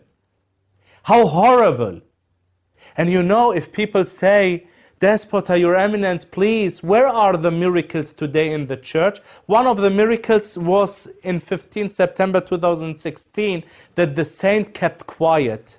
Because if the saint would not keep quiet, believe me, the whole Vatican had be to be shaken. And he calls himself a hierarch, leading people into salvation. Get rid of him and those who are like him. So now, from interconfessional, we come to the interreligious. Because in the interconfessional, as I said, all these churches are with them.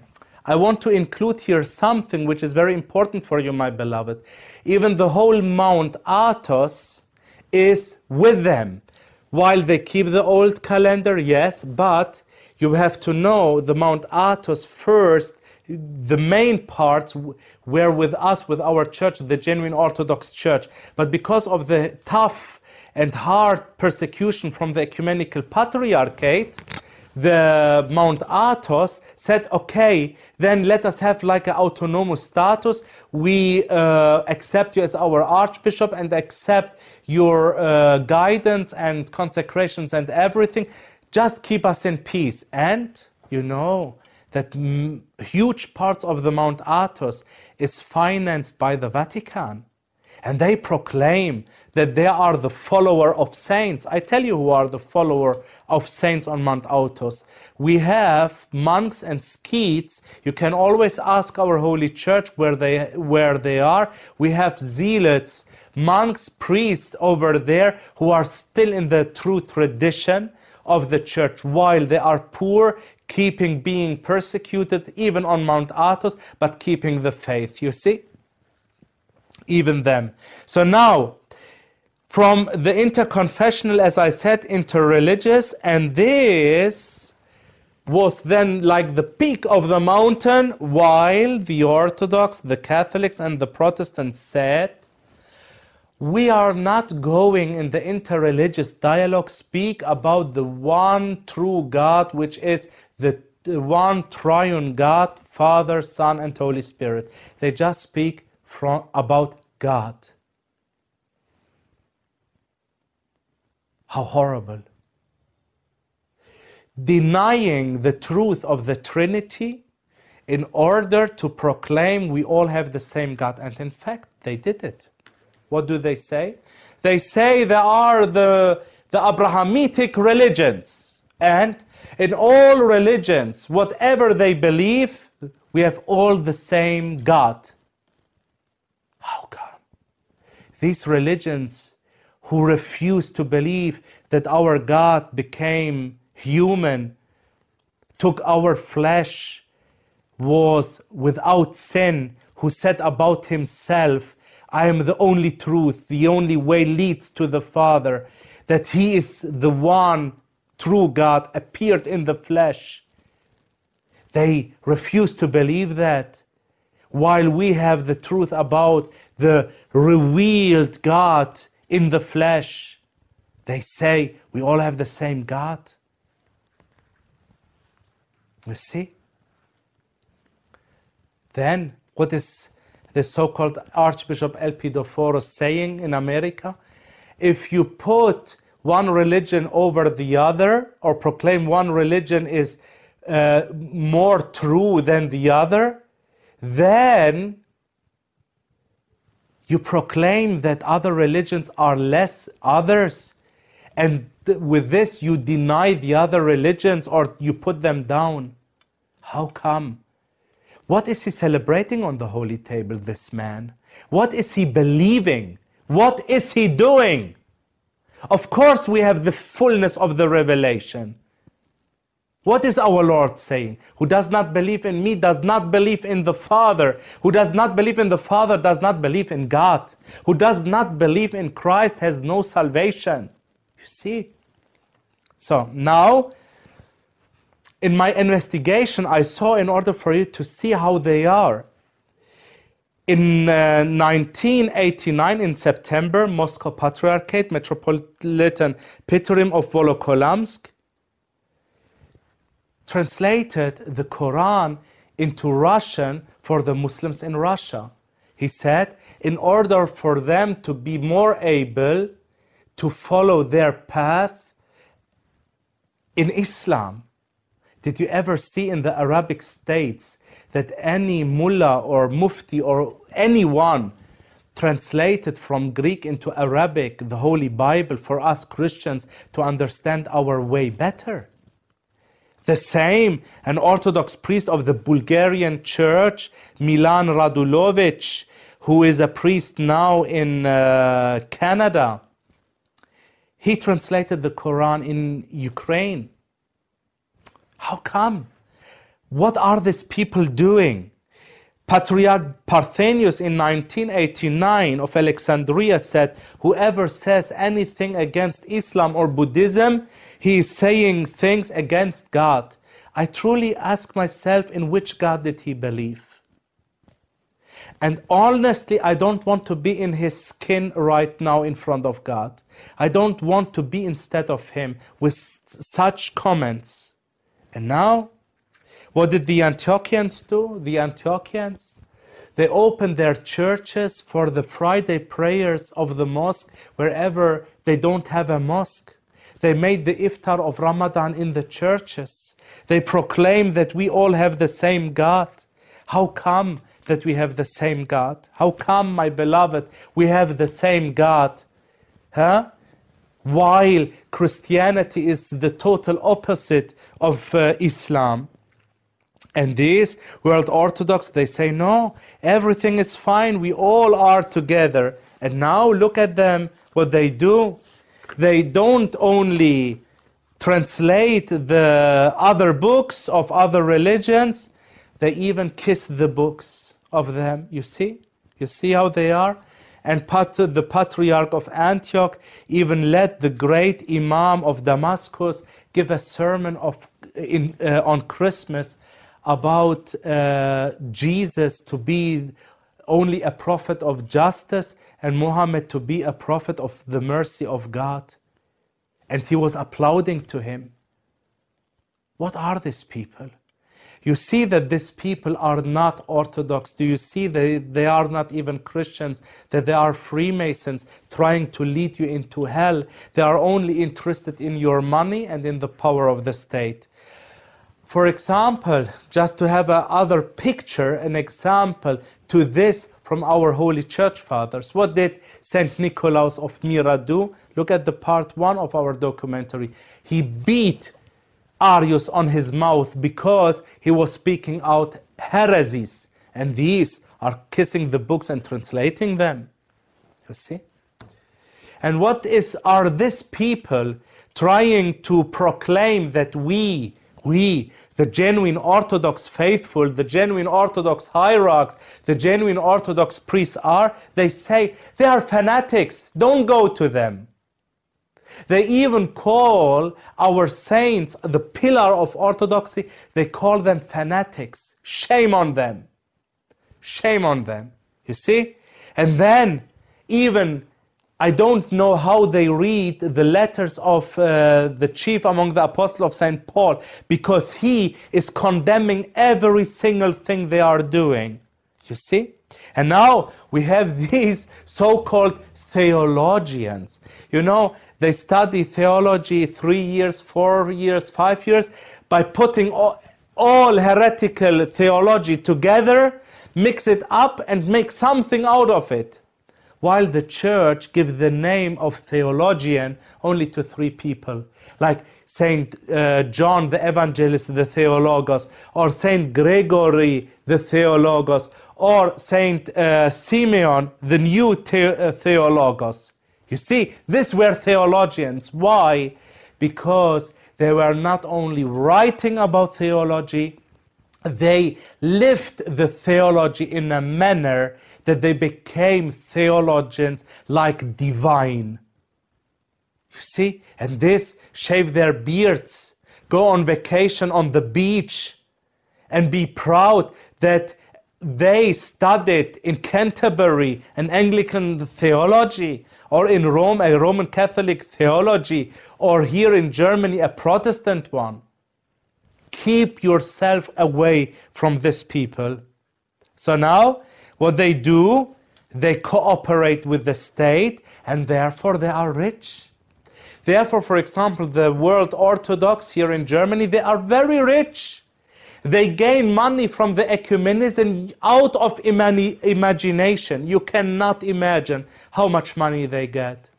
And you see always the genuine Orthodox Church, our church, poor, humble. Why? Because we have no support from any state. And you know, we prefer, and let this enter your heart, the genuine Orthodox Church from the very beginning, from the time of the Holy Apostles, from Christ, we prefer to be like in the cave where Christ, our Lord and God, was born, to be a church of the cave, pure, instead of being in the palace of Herodes, killing others. So now the question comes who are the real Orthodox? it's us. we are the real Orthodox, my beloved, who keep the faith, the genuine Orthodox Church, which is also called, called the Old Calendarist, as I explained to you in the beginning. Since 100 years, we suffer persecution. We suffer so many, so many things from these ecumenist people, from this so-called ecumenist uh, patriarchates and churches. We suffer persecution in a way I cannot really describe it to you. Starting from this ecumenist, where we're dancing on our holy tables, shedding the blood of Christ on the ground of the church, walking on it, putting priests of us in prisons, putting bishops of us in prisons. But you know, our Orthodox hierarchy always said, like Saint Chrysostomos of Florina, we will come now to him. He said, I prefer to be persecuted for Christ, for the sake of Christ, instead of being in wealth and honor of this world. So, since 1924, when this patriarchate started to change the calendar, our holy faithful and our holy hierarchy refused to make this change and look how God, with a great sign, approved and give the proof that we, the genuine Orthodox Church, are the true Church of Christ. Because this miracle happened in the history of the Church in this 2000 years only three times on 14 September, according to the old calendar, the patristic calendar, patristic it means according to the calendar of our Holy Church Fathers. On 14 September in the year 1925, on the feast of the exaltation of the cross, at 11:30 p.m. in the night, while the priests and more than 2,000 genuine Orthodox faithful were gathered for the celebration of the exaltation of the cross. In the St. John Evangelist and Theologos uh, church in Hymettos, near to Athens, the Holy Cross appeared over the church on the sky for several hours this was the third appearance of the Holy Cross in the history of the church. The first time, the Holy Cross appeared to Saint Constantine the Great in the year 313. The second time in Jerusalem, under the Patriarch uh, Saint Cyril uh, of Jerusalem on 7th of May in the year 351. And now on 14 September, according to the patristic calendar, in the year 1925. And you know, the Archbishop of Athens sent police and the military in order to put all our faithful in prison who are in that church. And when the Holy Cross appeared, thousands of thousands of people went down on their knees and they were uh, worshiping God and were astonished by the miracle of the Holy Cross, how it appeared. With this, God showed, I am not with the new calendarists. I am not blessing the change of the calendar. I am staying with the genuine Orthodox faithful who keep the tradition of the church.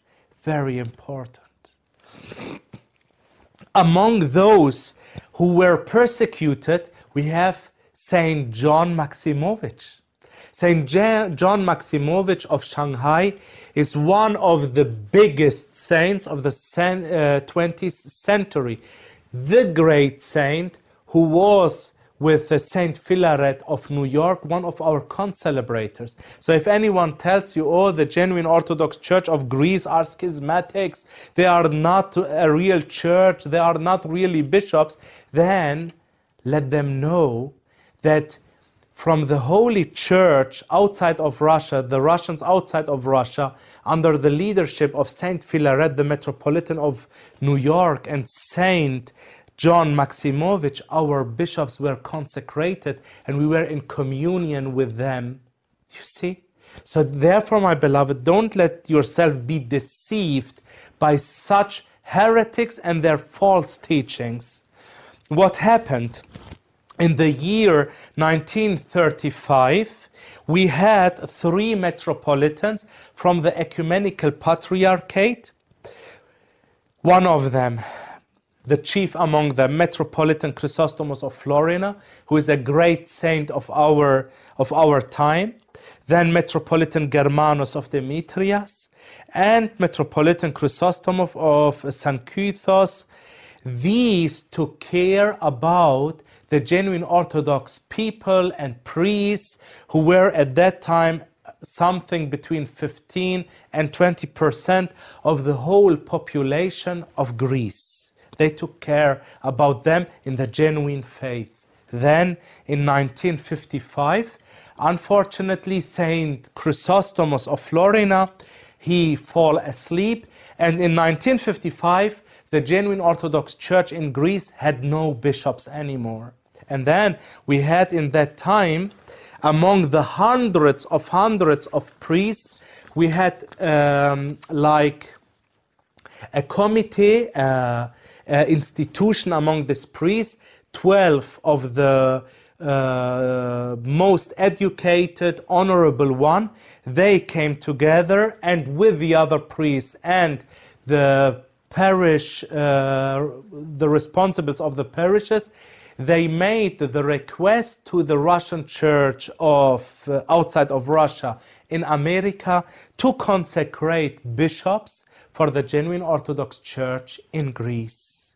And you know, my beloved, you must know, in that time, Russia Moscow Patriarchate already fall in heresy with this patriarch Sergius who cooperated with the with the state and all the other patriarchates were involved in ecumenism interreligious dialogue communism and so on.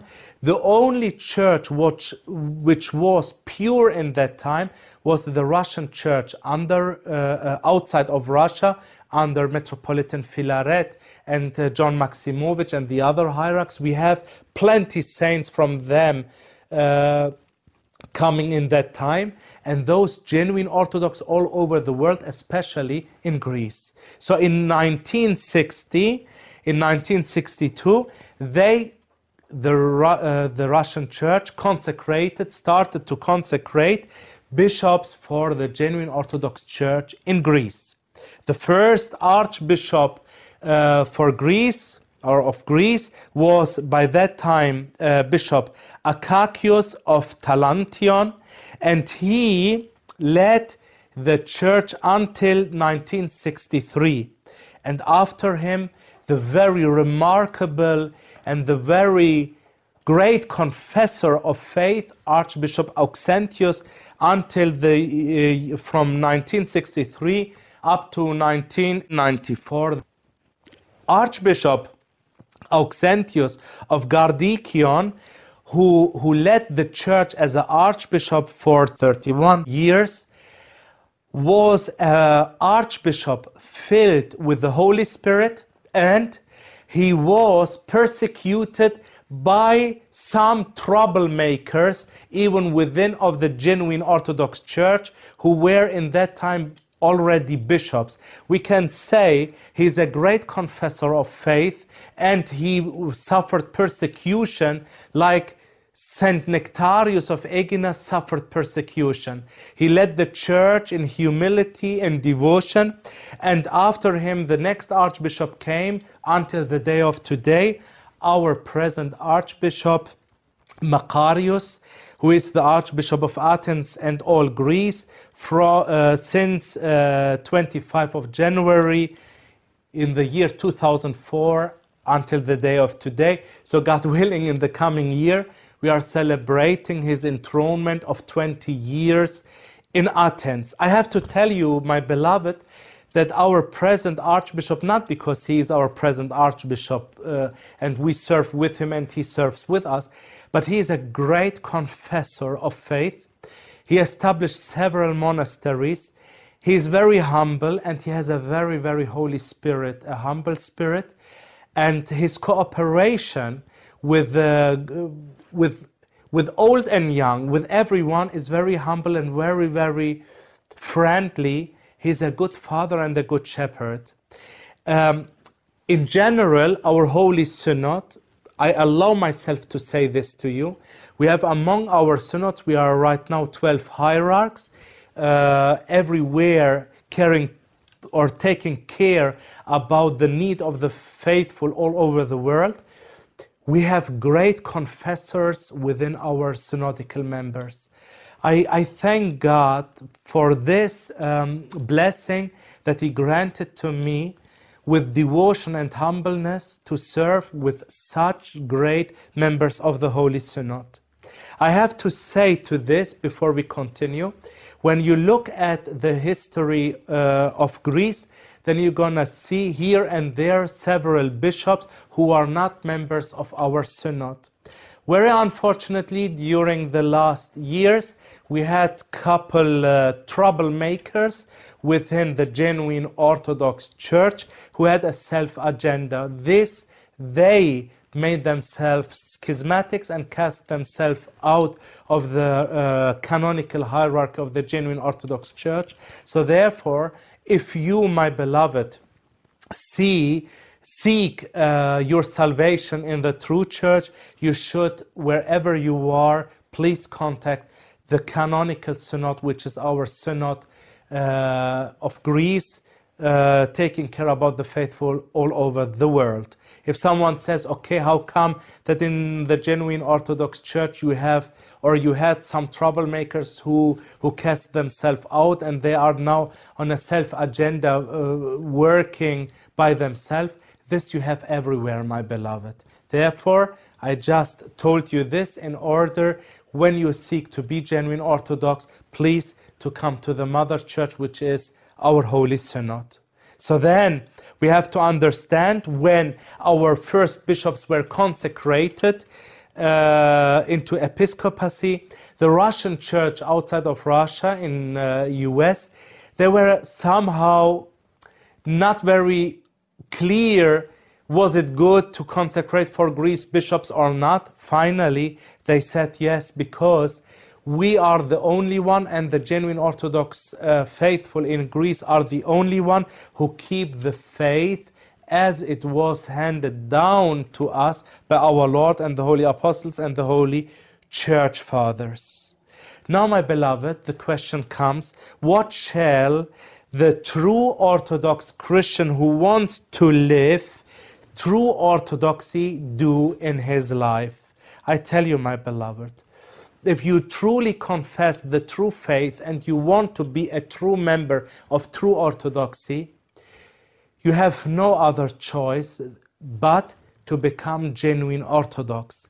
As I explained to you, to be a member under the leadership of a heretical a bishop or priest, it makes you heretical like him.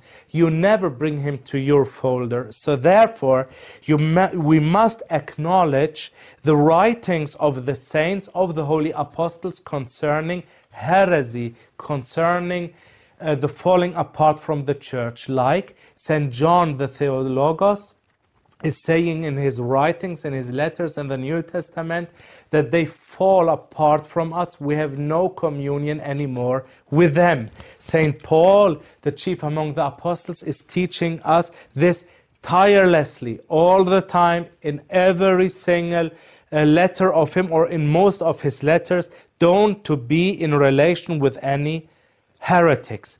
Therefore, I want to give you couple statements of some of our saints. Let us hear what Saint Basil the Great said in the 4th century. He says, those who pretend to profess the Orthodox faith but maintain Eucharistic communion with the heterodox, it means non Orthodox, if they not cease to have communion with them after an admonition may not only not have Eucharistic communion with them, but may not even call them brethren. So it means those who are in relation with them, we cannot even call them anymore brothers. You see? You see what the Antiochians did? With the Monophysites, the Alexandrians, you cannot call them even Orthodox anymore. You see what the Russians did, what the Bulgarians did, what the Romanians did. The Romanian Orthodox Patriarchate is considered within the Orthodox Church as the Protestants because with them everything is possible. Everything is possible with them. Look what St. John Chrysostomus said who gave back his precious soul in 407, do not accept any heretical dogma under the pretense of love. You see, this ecumenical patriarchates like Bartholomew, he's saying because we love each other, we make this unity. No, it's a false unity because the love is false. If you have a brother, for example, and you love your brother from all your heart, then you will not allow yourself to let your brother uh, in the mistake. You will do everything to get him out of that mistake. Then you love your brother truly even though if your brother hates you, but you did your best to protect him. Saint Theodoros Studitus, in 826, he says, even though few remain attached to the truth and to the orthodoxy, they constitute the true church and the true body of Christ. You see? So if anyone tells you, but the genuine Orthodox uh, faithful or the the genuine Orthodox church within the church, it's a small number even if we are only one person, even if we are only five people, we are the true church because we keep the faith. Remember, Maximus Confessor, Marcus of Ephesus, they were in their time the only one who confessed the truth. What did Saint Athanasius say when the emperor said to him, Athanasius, you are crazy, the whole world is against you? He said, And I am against the whole world. Thank God we are several, several uh, or couple hundred thousands all over the world confessing the true faith. So therefore, prefer, and this made me, you know, it makes me happy to be in the true ship in the true ark of Christ and to belong to the small flock of Christ instead belonging to the big flock of Christ, a, a, big flock which is outside of Christ and go to, to, to somewhere and not to eternal salvation. Therefore, our Lord, because He knew it is always only a small flock keeping the faith and the truth, He is saying, Don't be afraid, O small flock, because my our, uh, our your father in heaven loved it to give you the kingdom of heaven so it means it is always about the small flock St. Gregory Palamas, 1359, he says, Those who belong to the Church of Christ are those who are with the truth. Those who are not with the truth do not belong to the Church. You see? Therefore, my beloved, this heretical, they are not church in this world. Orthodox who proclaim they are a church, it means they proclaim about themselves that they are not the church either.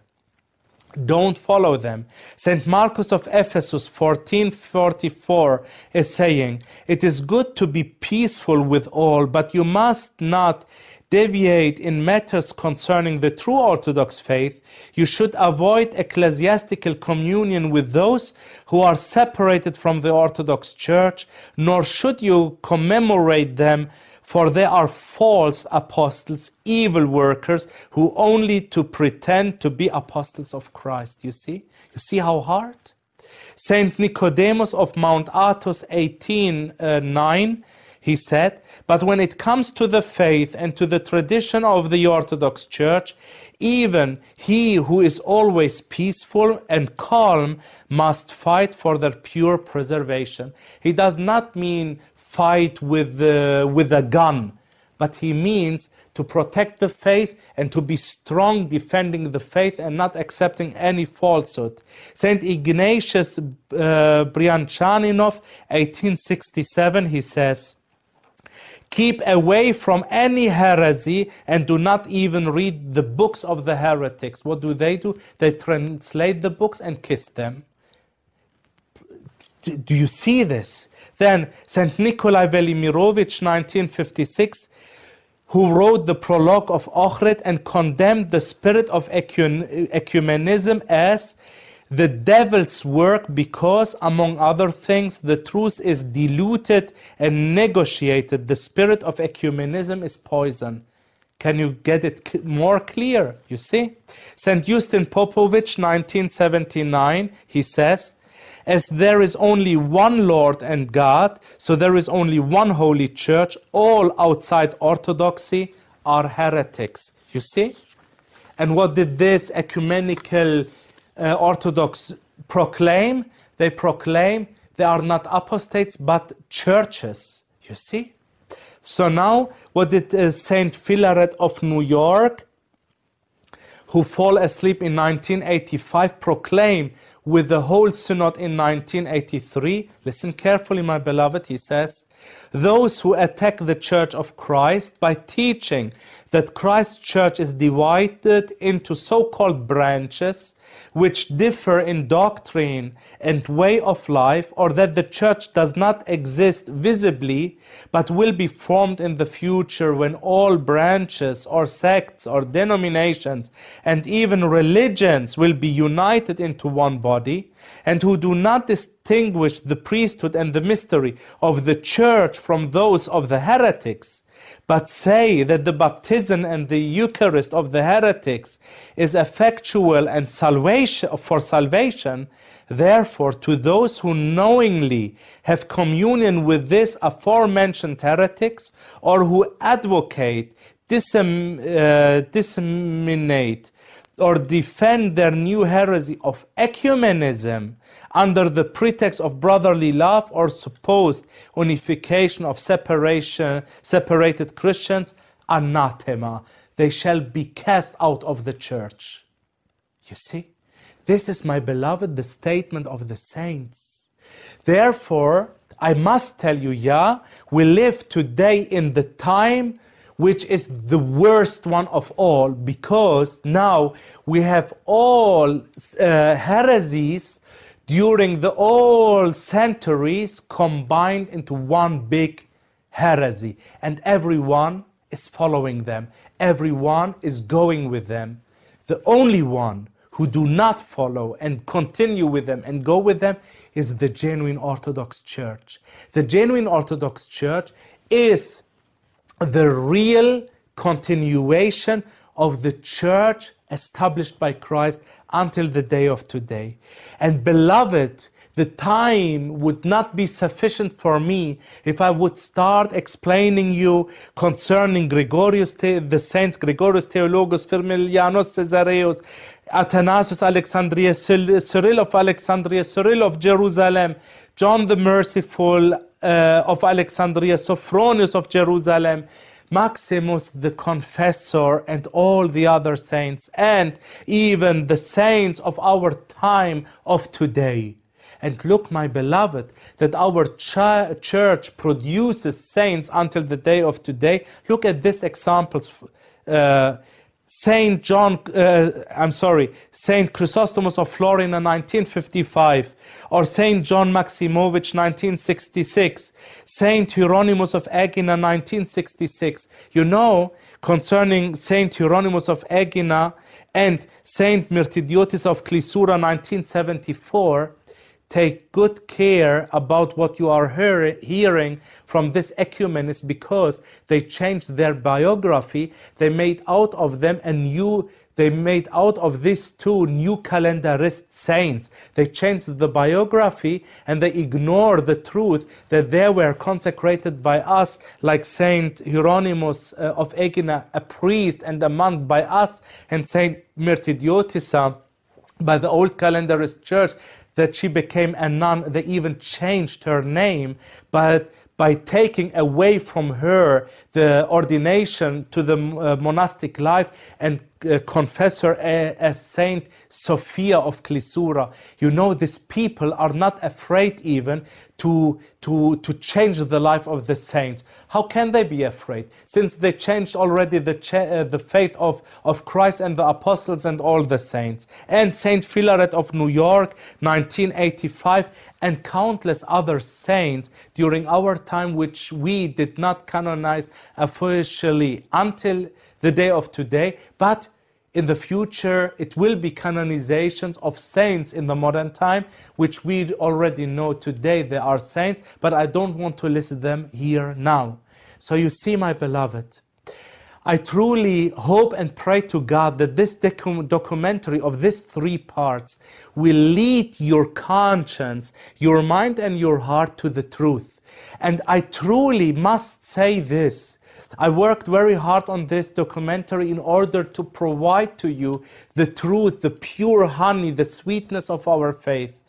I really believe if this documentary does not is not if this documentary is not sufficient for you to understand what is the truth i truly believe is an if an angel from heaven comes down to you and explain to you the truth you will never come to the truth. Therefore please go now to the prayer. Look inside of you. Make an investigation about everything what i explained to you in this three document uh, in this three parts and you see that i provided to you the whole truth of the church. Therefore if you truly want to be a son or a daughter of the holy orthodox church in the continuation of the holy church fathers as it was given to us by christ and the holy apostles then don't wait any other second anymore or any more minute. Convert to orthodoxy, to the genuine orthodoxy. Try to contact our hierarchs or the priests near to you. Come uh, to them, to us. Have conversations. If you have questions, you may write even to uh, my secretary. Here is the email uh, of uh, my monastery, you may write an email or try to get in contact with us. Here you have also the, um, the website uh, of our official website and get in contact with us. We, we are trying to give you all the answers with a clear conscience, a pure conscience, in honesty, truth, and reality. My beloved, I pray to God that uh, all this work which was done now will help you and your beloveds to find the truth. I uh, made this uh, documentary because of my pure love to Christ our Lord and His church, and because of my love to our Holy Synod and the members of our uh, Holy Church that everything uh, uh, will be for the glory of God and for the salvation of the souls. May God bless you. May God be always with you. And may God always protect you.